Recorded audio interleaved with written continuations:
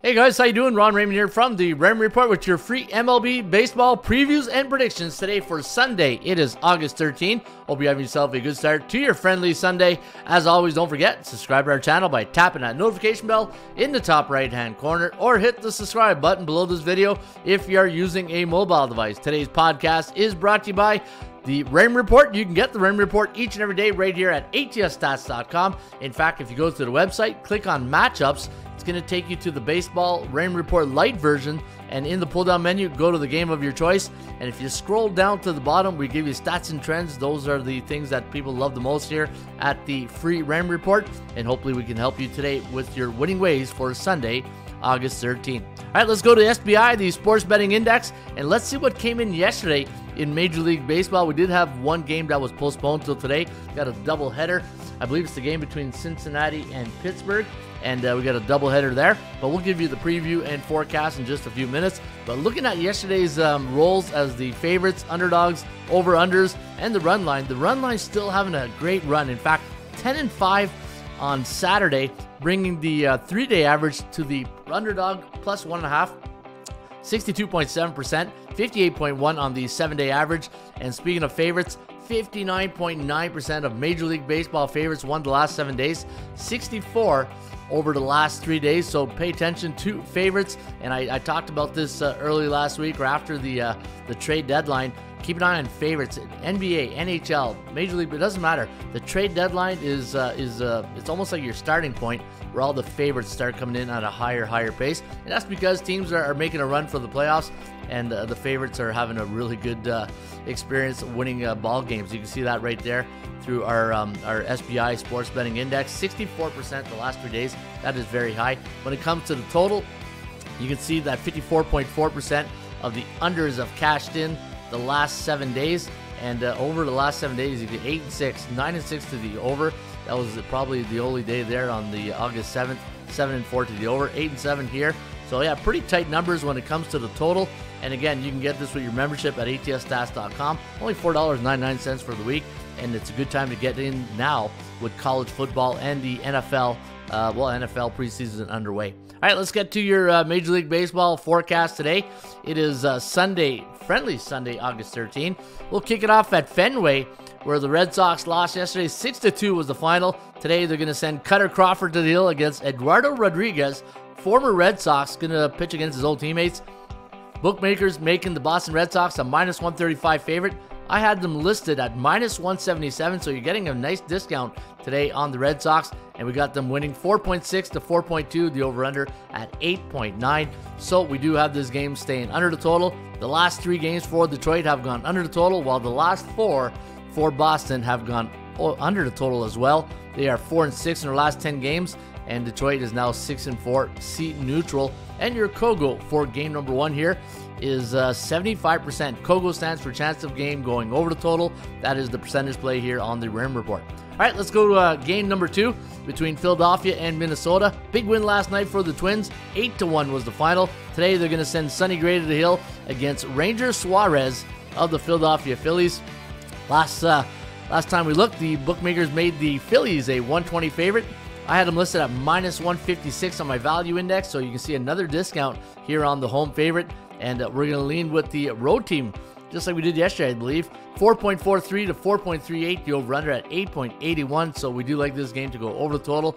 Looking at the chances of winning on the cow 49.3% for Philadelphia, 47.5 for the Twins, who are now 6 and 4 in the last 10, while Philly 7 and 3 in their last 10 games. Your Kogo at 51%. Oakland couldn't hang on to that 2 1 lead, and Washington, our free play of the day yesterday. If you go to the Raymond Report each and every day, go to the front page. In fact, if you uh, go right here and you click on today's free baseball pick, you can see Washington was our free play of the day yesterday, and uh, minus 135 is the line today. Trevor Williams going up against Ken Waldichuk of the Oakland Athletics, and we're going to lean with the Washington Nationals today. 4.96 to 4.66, the over under at 9.62. So we do like this game to go over the total. Looking at the chance of winning this game, gonna go with the uh, Nationals here at 54.9% compared to 45.4 for the underdogs, which is good. Anybody who's watched the podcast know that anytime you get the cow at 40% or higher with the underdog, it's always a consideration. Oakland, though, on a two game losing streak, and they are now three and seven in their last ten games, while Washington is seven and three, two seven and one to the under. Cincinnati playing the uh, double header today, and rule of thumb, right? You, everybody knows my rule of thumb. I don't bet double headers. Just too much going on. Look at the perfect example yesterday, right? Who would have predicted 21 runs in that Atlanta game? And uh, you know what does that do for the bullpen for the Mets in the in the second game? So that's why I don't bet on double headers. Minus 135 here for the Bucks. Nine and a half is the total. And you got Mitch Keller going up against uh, Brandon Williamson. This will be a 135 start, and we do like the Bucks. Uh, actually, yeah, we do like the Bucks in Game One. 4.9 to 4.6. The over/under at 9.6. So we do have game number one going over the total. Last eight games for Cincinnati have gone under the total, and uh, they, they picked a wrong time to get cold. Two and eight in their last 10 games. Chicago Cubs taking the first two at uh, the Rogers Center on uh, Jose Bautista Day yesterday. Really good. Uh, congratulations to the Blue Jays on putting on a great um, induction for Jose Bautista on his um, wall of uh, of uh, fame for the uh, Toronto Blue Jays. Every time the Blue Jays they celebrate somebody, they put them on the wall in the Rogers Center, and it looks really good. And Toronto today a minus 135 favorite. Nine is the total. ATS forecast gonna lean with Hyun-Jin Ryu over Jameson Taillon.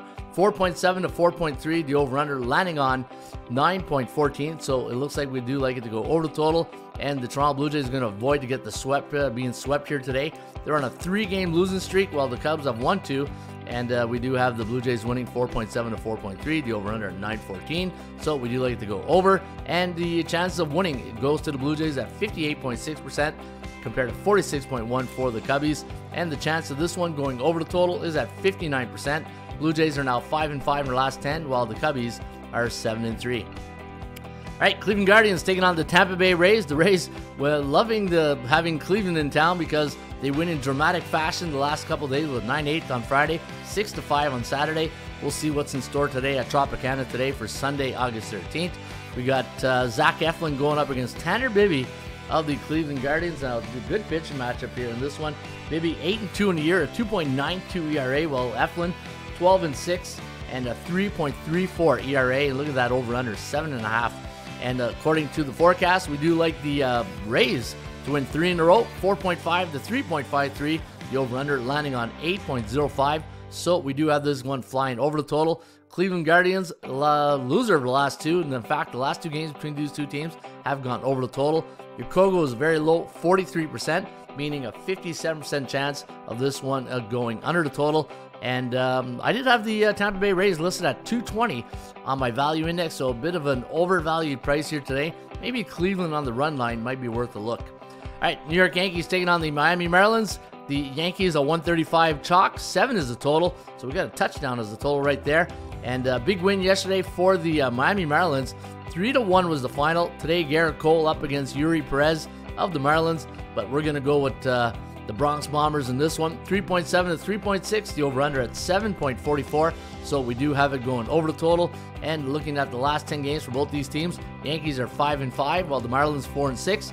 And 70% of the Marlins' last 10 games have gone under the total. I did have the Yankees listed at minus 133 today on my value index.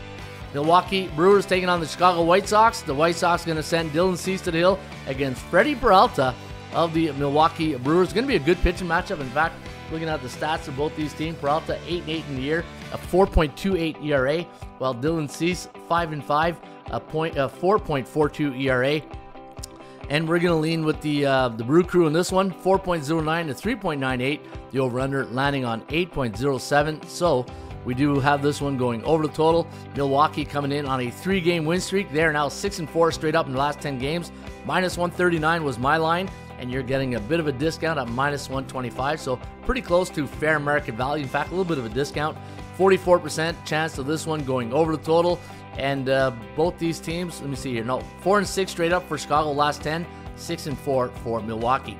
LA Angels coming off a spanking last night, 11 to 3. In fact, they got spanked the last two games against the Stros. Today, Jose Urquidy going up against Chase Silseth of the uh, Halos, and we are going to lean with the team that's a 150 favorite, and that's Houston, 4.6 to 4.02.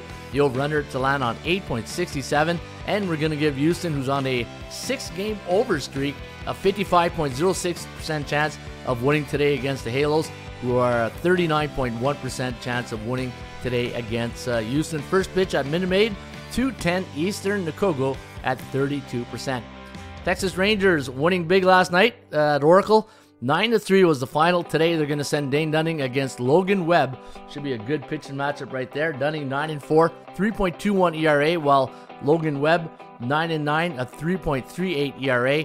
And uh, looking at the uh, San Francisco Giants, they're now on a four-game losing streak, while the Rangers still 9 and 1 in their last 10 and they've won their last two against the uh, Giants. And we're going to lean with the home team in this one. San Francisco, 4.2 to 3.32, the over under at 7.61. So we do want this one to go under the total. And we're going to give the Kogo at 59%. And the Giants a 134 favorite. So you're getting a little bit of an overvalued price today on San Fran. Baltimore Orioles outlasting Seattle last night in a uh, pitching duel. 1 0 was the final. Kyle Bradish going up against Bryce Miller today of the Seattle Mariners. And uh, minus 115 is the line for Baltimore. 8 is the total. And we are going to lean with Baltimore on this one. 4.1 to 3.9. The over under at 8.02. So we do have this one going a tad over the total. The chance of winning this game on the percentage play does favor Seattle at 50.3% compared to 48.9 for Baltimore. And uh, looking at the Kogels at 48%. I had Baltimore listed at minus 134 in my value index, so a bit of a discount today at minus 115. The Cow 50.3, however, for Seattle. So interesting uh, play right here on the um, on the percentage play. All right. Colorado taking on the Dodgers. 4 to 1 was the final last night for the blue, the team in blue, and that's the Dodgers. 350, another big high chalk game here. Nine is the total. We're going to go right back to LA. 5.1 to 3.7, the over under at 8.87. The Dodgers on a seven game win streak, and their last five have gone under the total. San Diego taking on the Arizona Diamondbacks. The D backs winning uh, yesterday. 3 0 was the final. Today they're going to send Brandon Pfaadt to the hill against Seth Lugo of the Padres. Padres a 145 favorite, 9.5 is the total, and we're going to lean with San Diego in this one. 5.03 to 4.6, the over under at 9.68. So we do have this one going over the total. The Kogo, though, agrees with it, uh, 61%. You got a C Bears team in San Diego up against a B Bears team. So misery loves company. They're going to meet today at Chase Field. And uh, Arizona, 1 in 9 straight up in their last 10 games. 80% of those games have gone under the total, while San Diego is 4 and 6 and 7 and 3 to the over. And then there's your second doubleheader game, 4.6 to 4.2. You got uh, Andre Jackson up against Luke Weaver uh, at uh, PNC Park. First pitch in that one, 6:05 Eastern. And your uh, ESPN Sunday night game of the week, you got uh, Atlanta taking on the New York Mets.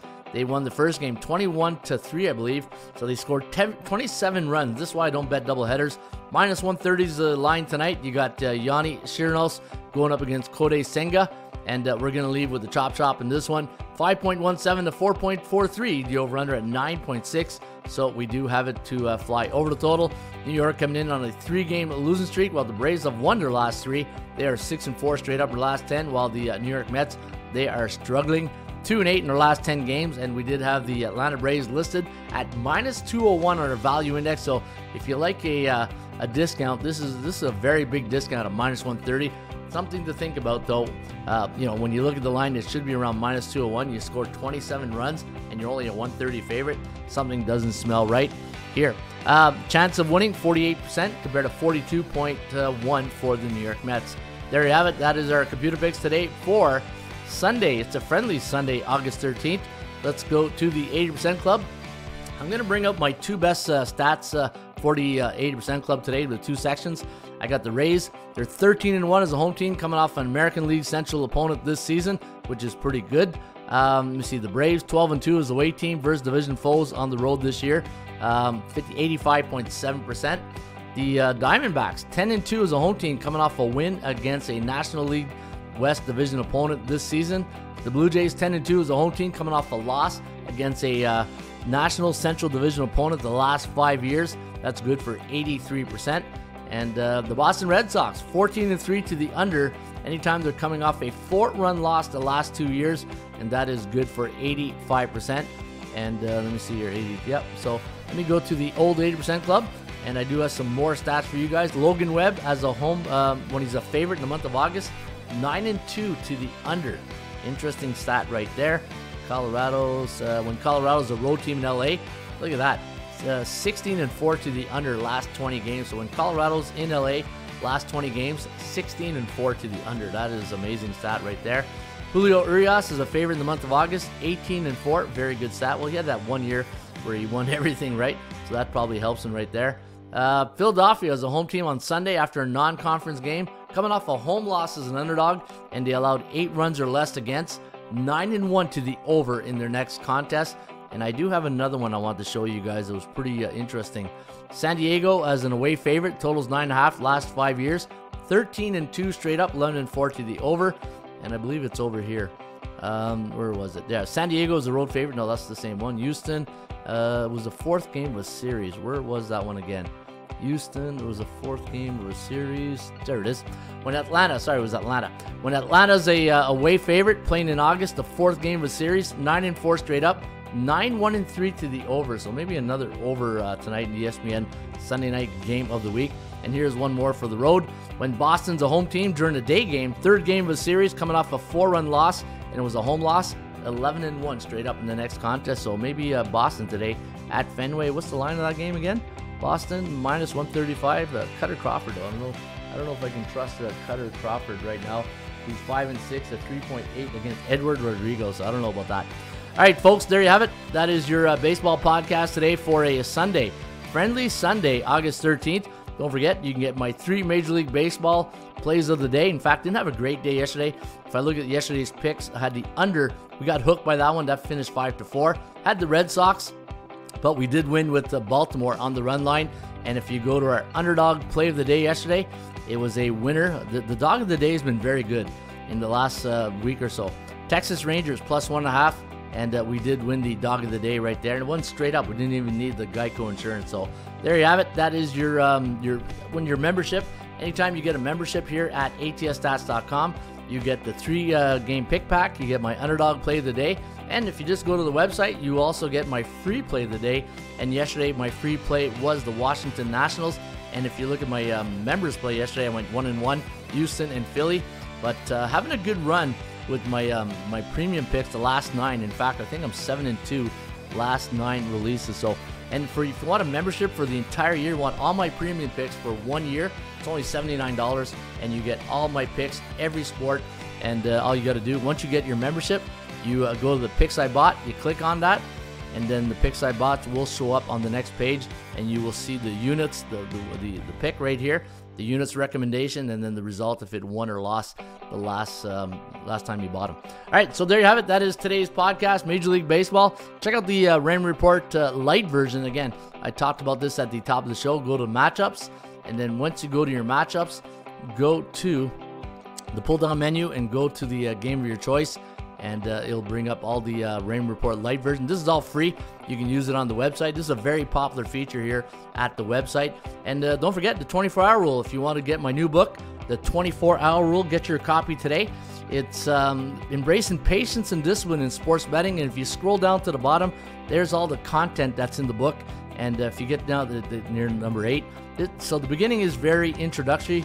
Um, you know, basically an introduction to sports betting. But once you get too close to uh, number six and number eight, the art of value betting, the power of trends, the DMVI, the Daily Market Value Index, the type of teams in the Raymond Report, the ABs and Cs, how to bet on different sports, understanding and utilizing the games of cycles. You hear me talk about all the time. You know, this team's in a bearish, bullish cycle, neutral cycle, strength of schedule, using football, especially in college, um, advanced betting strategies, building your uh, betting system. I always say build your robot, right?